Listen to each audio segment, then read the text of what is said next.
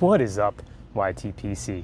Andrew here, aka Bluefin Piper, coming at you from a chilly, overcast, uh, somewhat sunny maybe Saturday here in New Jersey. Uh, doing well here in New Jersey. My boy Finn there, enjoying a little bit of outside time uh, today as we continue our social distancing sequestrament here in uh, Jersey Shore area of New Jersey. Uh, and uh, thankfully, we can get outside today. It's been a little rainy uh, and kind of a really uh, March went out, I guess, like a lion. I don't know, but uh, definitely we had some early spring before all this craziness happened, and um, the March really just kind of no snow, but uh, rainy, a lot of rain and cold weather. So it's kind of continuing right now, and it's nice to have a day to get out, and try to enjoy some outside time. Well, I hope you guys all are doing well. I hope everyone is staying safe and healthy and sane in all this craziness. And today, I thought I'd take a little break from um, my normal. Uh, it's been a lot of Virginias and Vapors and Burleys lately, so take a little break, have a little aromatic break. And um, I saw that uh, our good friend Garbage Man Piper Mel was uh, had gotten a really nice nine millimeter uh, cob from Germany, a Missouri Meerschaum that was uh, retrofitted, I guess, and with a custom uh, stem. Uh, looks beautiful, by the way, Mel. Very nice. And he was also smoking some Missouri Meerschaum pouch blends, which I have not tried any of those, but um, they sounded good. Uh, however, I do have, and then I did see a comment, I think it was from Jay Mouton in one of the videos asking about the 150th anniversary blend, which I happen to have a tin of, and here it is, guys. So I'll give you guys a look at it. Um, and this this blend I picked up a while ago before all this craziness started with the intent of getting to try it with a good friend of mine and coworker. Uh, we usually get together maybe once a month or every month and a half or so and have a little pipe meetup. And he, uh, uh, he is a big aromatic smoker, loves aromatics, and I thought this would be a fun one to try with him. Fortunately, uh, enter coronavirus, and we have not had a chance to get together for multiple months, so I thought it was time to crack this one open and give it a try. So, all right, let me just talk a little bit about the tobacco real quick.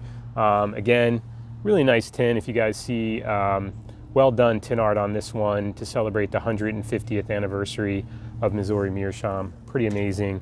Um, this is blended, uh, it's by Lane, blended by Russ Ouellette, which is probably why I think it's may only be available on um, Pipes and Cigars and I don't know, maybe a few other places, but um, and it's about $13.99 a tin, I think, right now. Uh, and it is a, Vir- a, Burley Virginia blend with uh, Virginia Cavendish and a vanilla topping. So I've smoked one bowl of this so far, uh, this morning actually, and so this is really kind of a impress- second impressions, first impressions video. Um, just wanted to give you guys some quick thoughts on it in case anyone was interested. Um, so definitely some cool, very nice tin art, nice collectible if you're into that kind of thing, maybe. Um, and as you open it up here, you got the standard kind of packaging. And um, I have to tell you guys, I was a little underwhelmed. Um, you've got this kind of black uh, insert, which you know really isn't um, very fancy at all. And I don't know, something about the black insert just doesn't really do it for me at all. But uh, once you get past that, you can see you've got some nice, um, nice looking pressed cakes, uh, crumble cakes, I guess. Um, and um, so I'll give you guys a look. These are stuck together pretty good. I'm going to give you guys a look. As you can see, I got, there's really, there was a, a third, like a half of a third on top of this one. And it's supposed to be 1.75 ounces, I guess. Um, you know, we don't get two ounces anymore. Um, so hopefully you guys can see that. Uh, it's coming in. And a nice looking cake. It's uh, got some good thickness to it.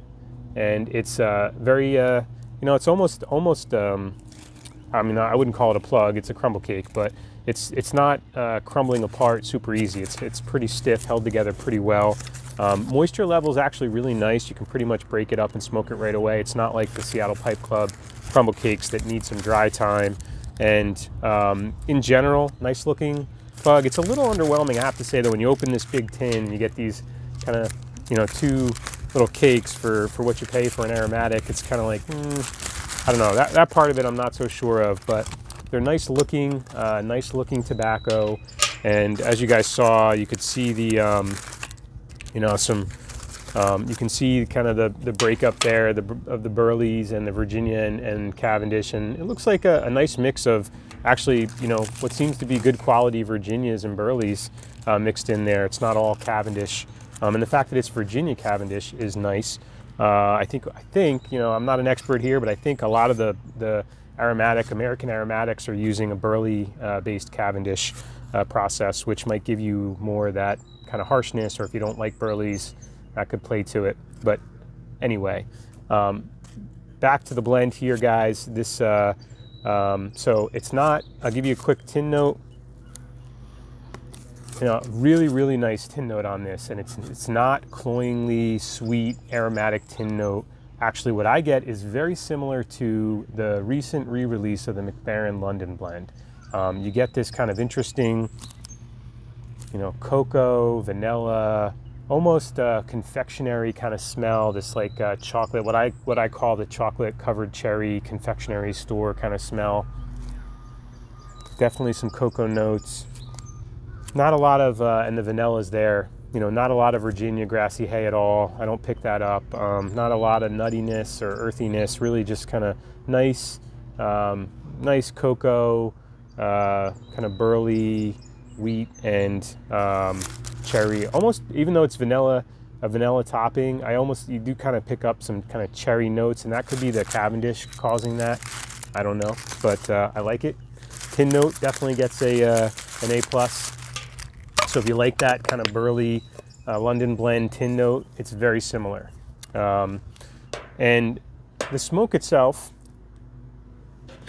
get lid here. All right.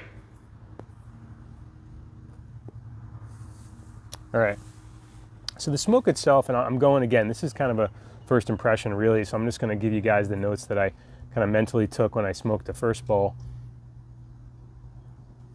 the first light and probably maybe the first third of the bowl, um, you definitely get more of that Burley flavor, Burley, weedy flavor um, with this really nice kind of mellow vanilla topping. And like I said, you almost have, it almost has kind of a cherry, very light, subtle cherry tone to it. Um, but you know, vanilla, caramel with kind of this almost this cherry feel, which I think might be the sweetness from the Cavendish.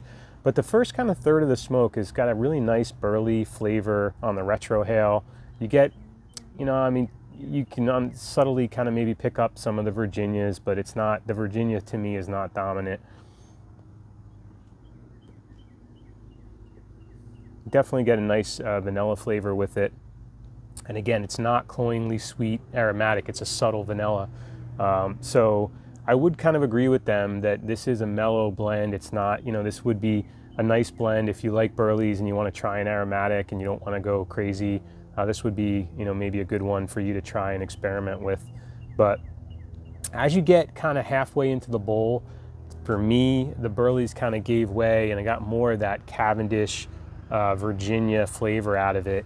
Uh, and certainly uh, towards the very bottom, it, it kind of got, kind of lost some of the flavor there in the last kind of third of the bowl and just got more of that kind of Cavendish. It wasn't terrible. Uh, it wasn't completely bland. It still got some nice vanilla flavor, um, but I lost some of that nice Burley note to it and got more kind of Cavendish. You get that, uh, for me anyway, this kind of Cavendish mouth feel, um, kind of coating in the mouth. And um, no, uh, very smooth blend, no, no harshness.